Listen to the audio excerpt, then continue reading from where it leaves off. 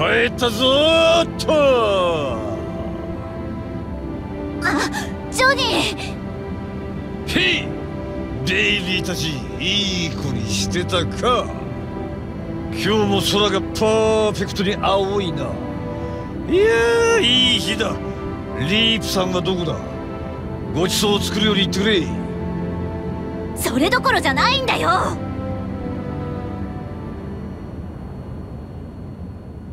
何？メイが家出だ？ラムレザルにジャパニーズのことを聞いちゃったんだ。それで奇病だって言われてひどく怯えちゃって。ラムレザル？なんで勝手にあんなもんに会いに行った？ごごめんなさい。でどこに行っちまったんだそれがわからないの。補給のために停泊して気づいたら今はチップさんが探しに行ってくれてるんだけどどうしよう。あの子みんなに病気がうつるかもって考えてんだよ。あのバカがいや全部俺の責任だ。くそみんな手伝ってくれ。全員で手分けをして探すんだ。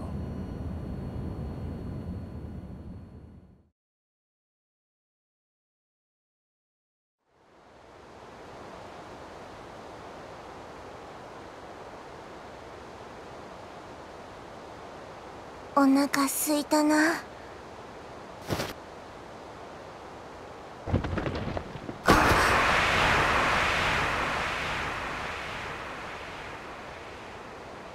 ジョニーみんな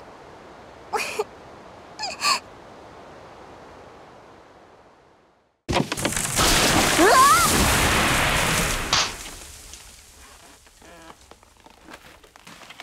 ちクソガキが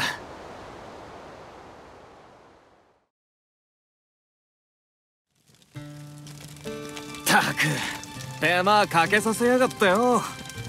こんな真っ暗な山ん中にむやみに突っ込みやがって。俺様の忍者 eye and nose がなかったら遭難しちまうとこだったぜ。どどうしてここに？お前の仲間に頼まれたに決まってんだろうが。そうじゃなくてバビロンに向かったんじゃなかったの？なあ。俺の体は一つだ。同時に二つの場所に行けるわけねえだろうが。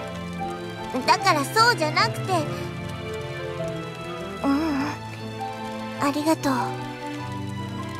よし。お前がどうして家出したかなんて聞いてる暇はねえさっさと仲間んとこに帰んな。だダメだよ。ラムレザルが僕は奇病だって言ってたもん。みんなにうつっちゃう病気かもしれない。ラムレザルに何を言われたのか知らねえが。それはお前だけの問題じゃねあ？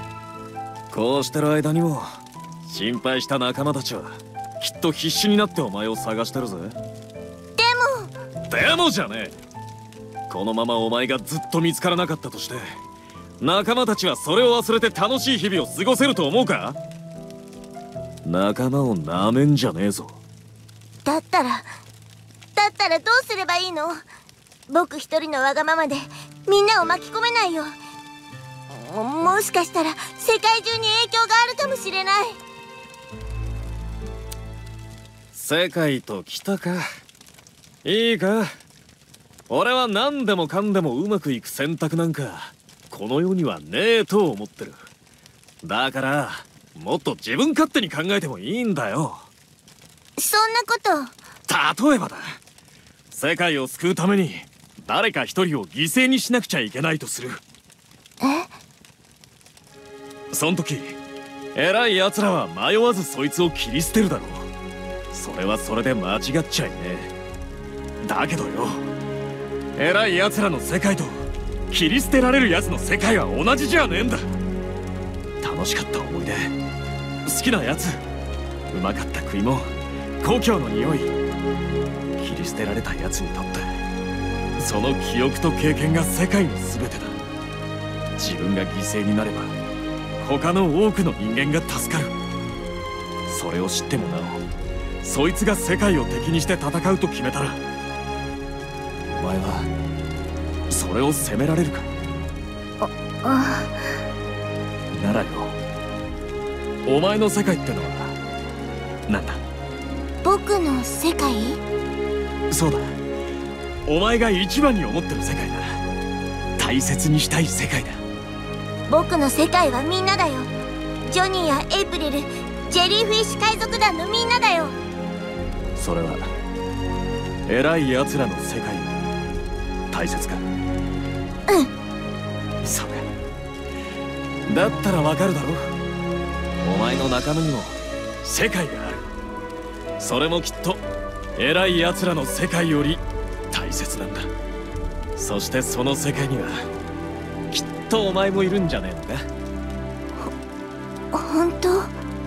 たく。お前はガキなんだから。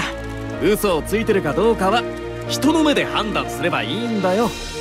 分かったらさっさと戻るぞ。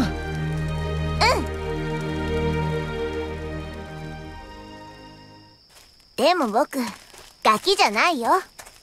ああ分かった分かった。じゃあ何歳だよ？えっとね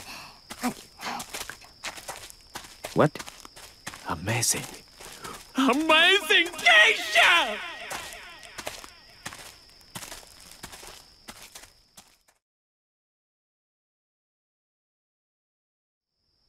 めいジョ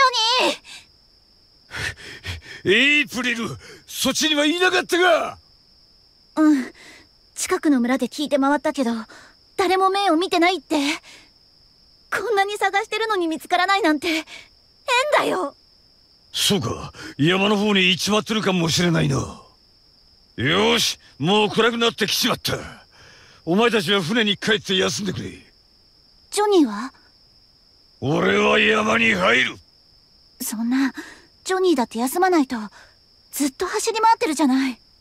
心配するな。なーにちゃんとメイは連れて帰るさ。違うよ。ジョニーももう限界でしょ？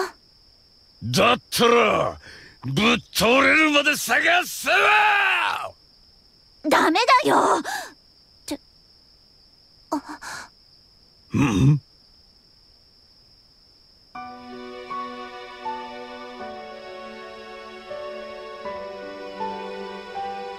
ほーら行けよ。メイ。お前。みんな奇病だって言われて。みんなにうつるかも。みんなも奇病になるかも。みんな死んじゃうかも。せ世界が滅びちゃうかも。でも僕みんなと離れたくない。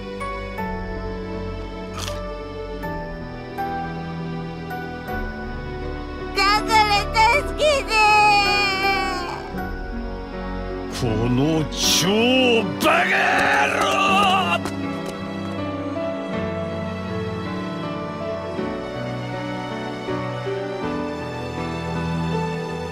は はよかった皆さんお揃いですね。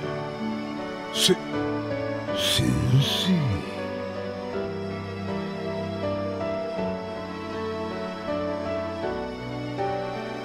はいで大丈夫です。よかったなメイ。それにしても先生やけにグッドタイミングで現れたな。こっちから行く約束だと思った。わそのことなんですがジョニーさんちょっといいですか？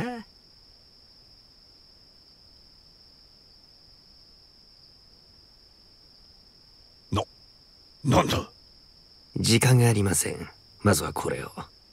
これを？ワクチンです。定期的にメイさんに投与してください。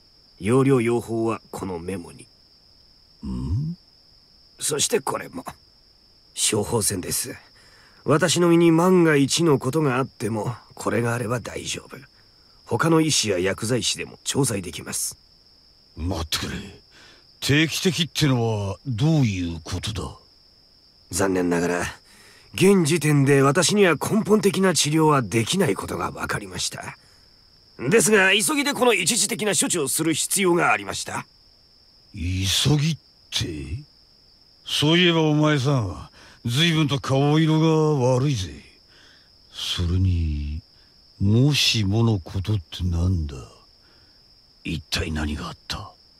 これ以上は言えません。俺は信頼できないかメイの恩もある。力になりたい。